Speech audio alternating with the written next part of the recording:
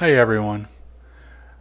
I want to take some time and talk a little bit about voter fraud, voter integrity, and some of the things that the left keeps trying to claim is making it harder to vote in the wake of an election that I anticipate is going to have one of the highest rates of voter fraud in any midterm that we have recorded history on.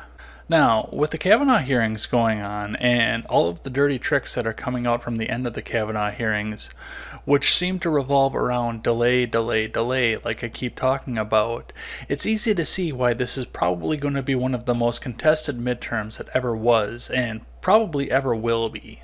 I mean, at this point, we're sitting here just pretty much talking about a complete Boy Scout, and the left was able to come back and dig something up on him from 35 years ago that's now changed the idea of the entire situation of something that would have been a very easy confirmation in any other situation. This is something that I told the right that they should have done as soon as they got the pick in, that they should have held a vote on it. But I am glad that they followed procedure and didn't try to do something through a back room. That is one of the things that I'm glad about with this Congress and government as it stands right now. Now, this whole thing for me started one day when I was posting on an online message board where one person pointed out that he didn't care about the Sargon and Metokur feud that was going on at the time. And I was kind of in the same boat with him. I really didn't care about it. But it led me to bring something up that was very important. I said that most of the people that were in the message board were sitting here discussing whether or not they were on Team Sargon or Team Jim, and we're sitting here in the United States, far away from England, looking at one of the most contested elections, probably of our lifetimes, that is going to be subject to more voter fraud than I think we've ever seen. I jumped out and I went to a different online message board and started talking about the idea of election integrity with a couple of other users there. And I started to tell a story from when I was much, much younger, and it really got me thinking about how easy voter fraud really is.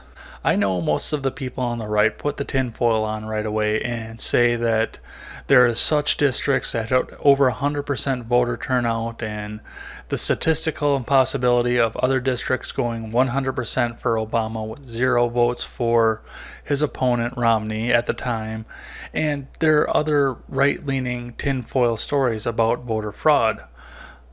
But on the left of it, those people will come back out and say that there's only been one or two ever convicted cases of voter fraud, so it must never be happening.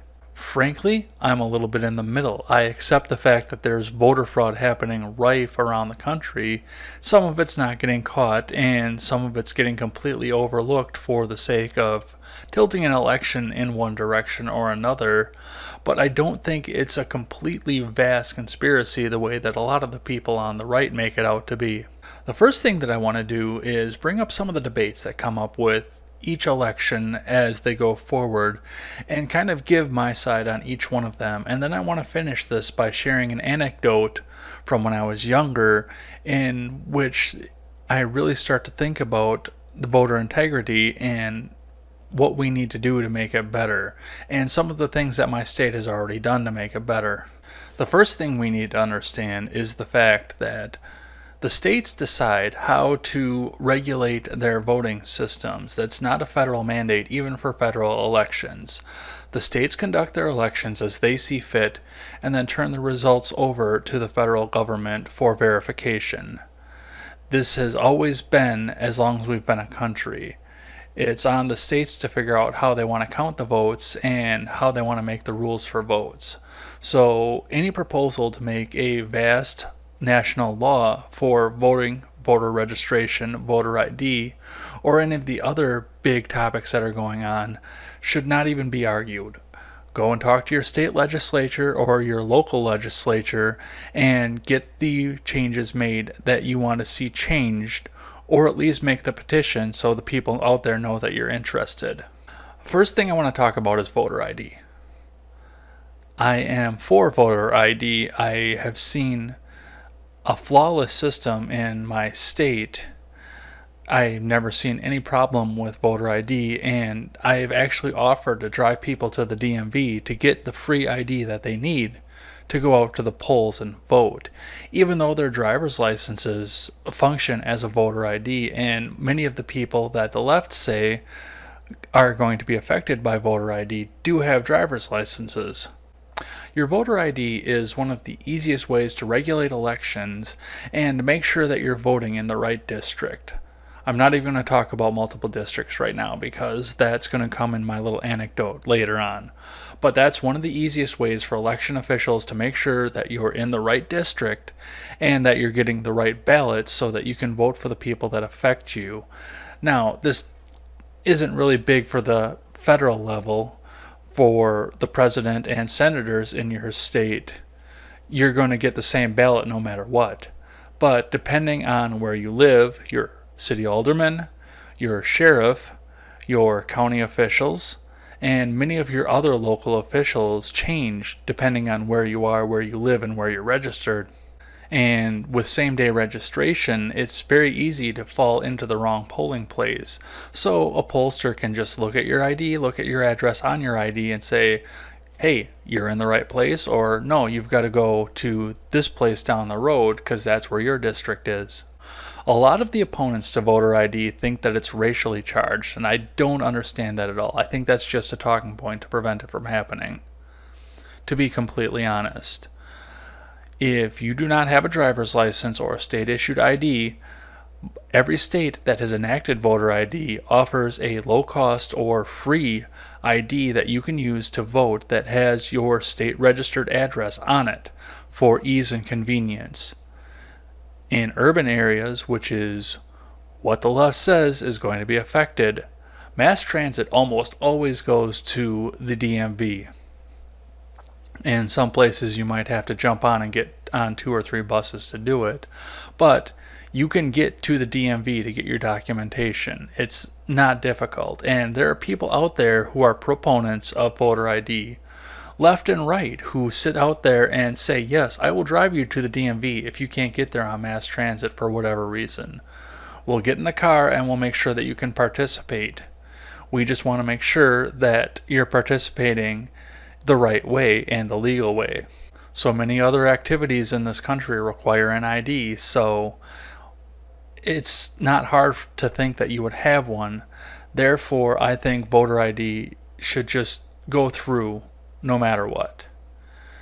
I think everybody should be petitioning their state legislators to go through and vote for voter ID and put it on the books. I understand there are states out there that are never going to do it no matter how many people petition, but I think everybody should be out there petitioning for this. The next topic I want to bring up is same day voter registration, and I am actually a proponent of this, even though a lot of people on the right are not. In this country, people are moving all of the time. This is one of the most fluid countries out there. People move for work, people move because their lifestyle changes, people move because they want to get out of their parents' house, people move for all kinds of reasons throughout this country.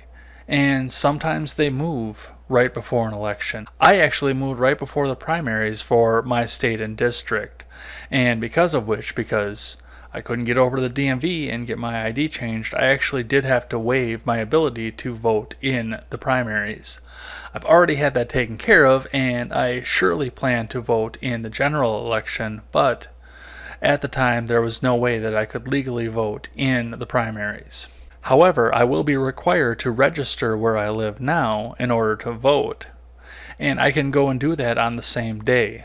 Now, I'm going to reference a story again that I haven't told yet, but the anecdote that I'm going to tell at the end of this video will sum up how I feel about same day voter registration, especially when it's coupled with voter ID, versus when it's in a completely unrestricted state and people are just going out and voting and registering same day willy nilly but for the most part, especially in the state that I'm in that has voter ID, I am absolutely a proponent of same day registration. That is the easiest way to get the most people participating in a representative democracy and the best way to get the most people choosing who represents them in the country. Purging of old voter rolls is the next topic that I want to bring up. The purging of old voter rolls is a very hotly contested topic almost every single time there's an election, and there are people that are screaming to the high heavens to stop it from happening. If you purge your voter rolls, then people have to go back and register again, and it's going to keep people from being able to vote. I am so much of an opponent of the idea of keeping the old voter rolls that I'm going to come out and say that the arguments that the people have against purging old voter rolls is complete 100% utter bullshit.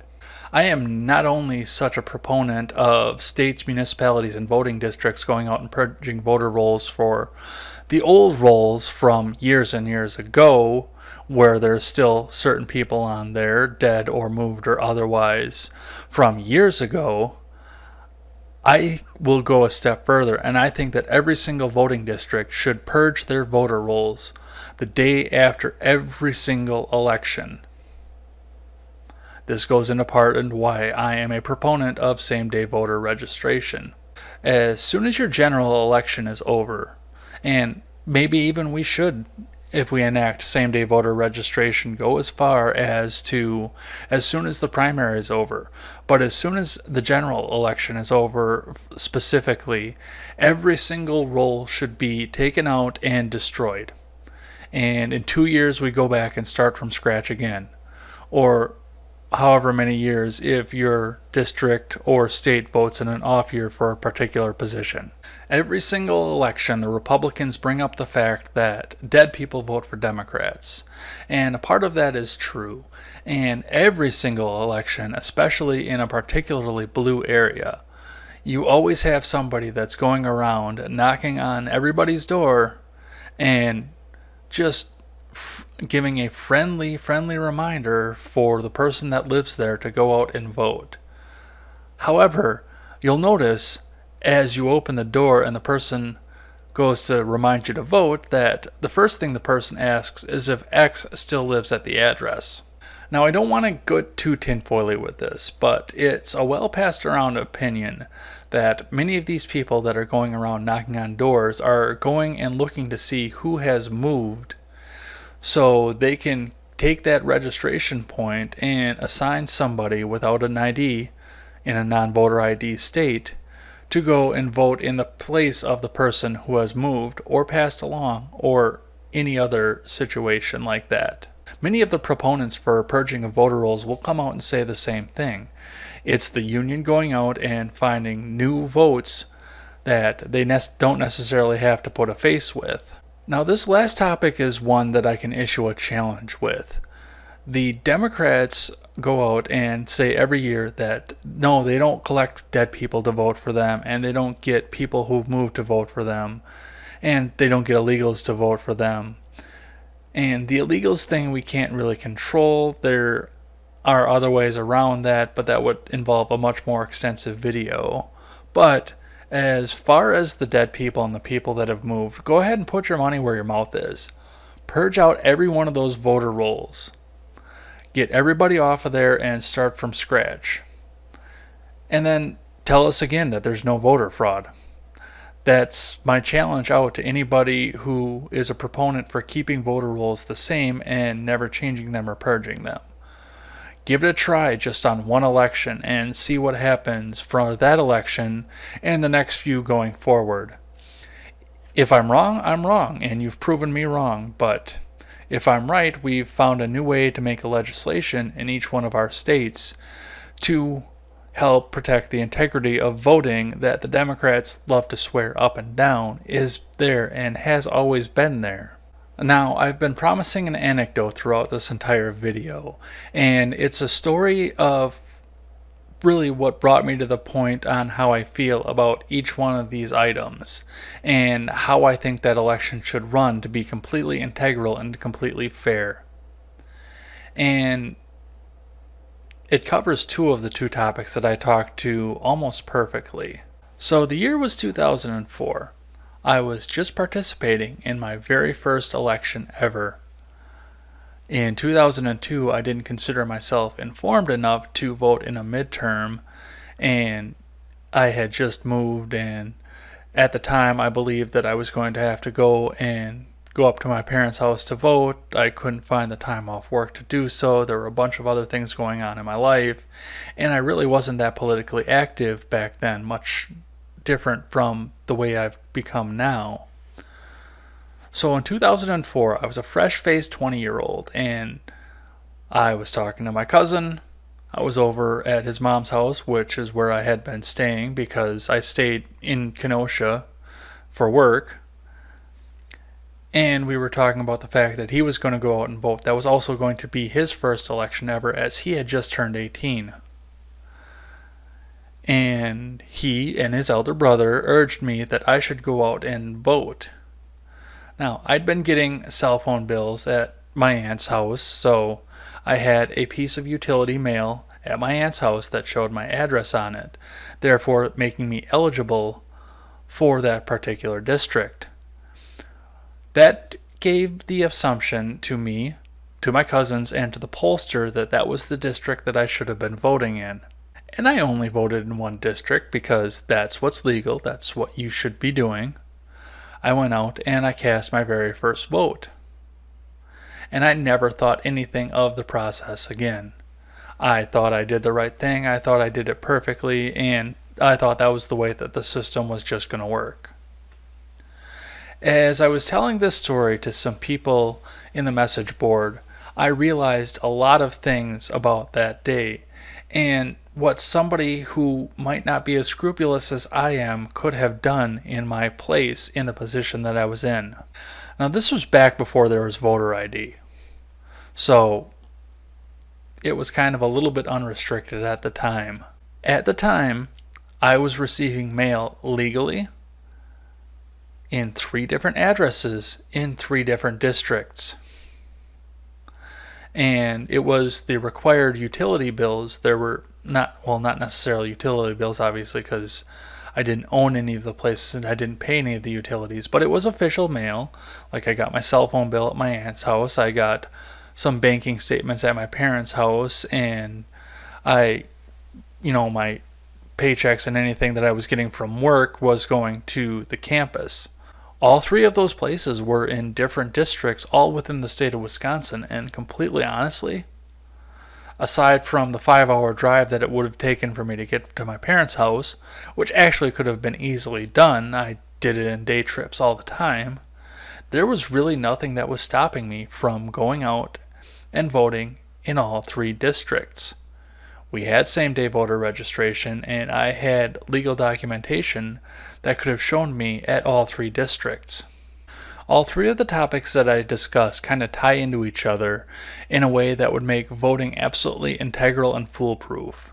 Purging the voter rolls only works if you can go out and same day register because otherwise it cuts off a lot of people who would otherwise not be able to register in advance in enough time to go out and get to the election and vote properly.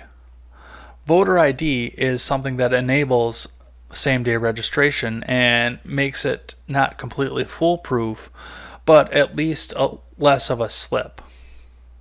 Now, yes, at the time it probably would have been a lot harder for me, and I think it's a lot harder for college students too.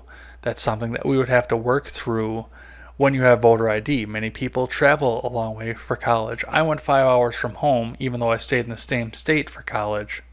And many people go even further. Many people go out to the coasts. Many people go several states away to go to college. That is something that we would have to work through as we went through and did voter ID and registration laws and purging of voter rolls going forward. But doing all three of those steps would be a good first step, and it'd be a good way to open up the debate as to what to do about this vast minority while protecting the integrity of the majority of people out there. I know a lot of people out there would say, oh, that's fine, we don't have to cater to the college students. Some of them are angry about the fact that the college students want the socialists out there, but they are 18, they haven't committed any felonies, so in my eyes, they do get the chance to vote. That would be a debate that we need to have. But first and foremost, we do need to get some of these ideas out there and at least propose to the people that make our laws and regulate our elections to see who wants to put it through, who doesn't, and the reasons that they want to debate away as to why they don't want to put any of these things through. If you get things opened up for debate, I'm sure you'd be surprised to hear a lot of the answers out there as to why none of them should be implemented. To this day, I'll never know if I voted in the right district that day. That is between the election committee and myself. But it's been 14 years right now. I highly doubt that they're going to come back and try to do, undo an election over the fact that I might have voted in the wrong place, especially considering that I only voted once. What do you think about the three laws that I sat back and proposed here? And what are some other ideas that you could bring forward to help make elections fair, but also make sure that everybody can participate as we have a democracy in our country, representative or otherwise? I always welcome a thoughtful and positive discussion in the comments section below, and especially over on Twitter. That is at Ed's blog Twitter with a one in place of the I. Thanks as always for listening to this show and supporting this channel. And remember, never take the words of bloggers, podcasters, or journalists as gospel. Find all the facts and draw your own conclusions. Take care, everyone.